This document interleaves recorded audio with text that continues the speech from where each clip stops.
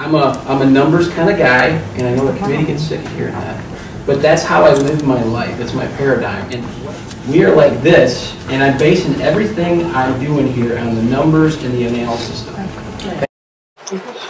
Uh, How many people would this ordinance cover? Eh, the Milwaukee County ordinance? Yes. I do not know the population of Milwaukee County. That may be a good question for Senator Harris. The, the minute, the the living wage is eleven dollars and thirty-two cents, is that right? I I don't know what Madison says. Well, I mean, if if Milwaukee, the Milwaukee ordinance, you're talking about Milwaukee, isn't that the living wage in Milwaukee if it's passed? If the ordinance is passed, I, I. Eleven thirty-three, correct. But I think you're correct. We'll take up check. And the, the federal minimum wage is seven twenty-five? Is that right? Yes. That's- Is I'll that right? check with Leg Council on that.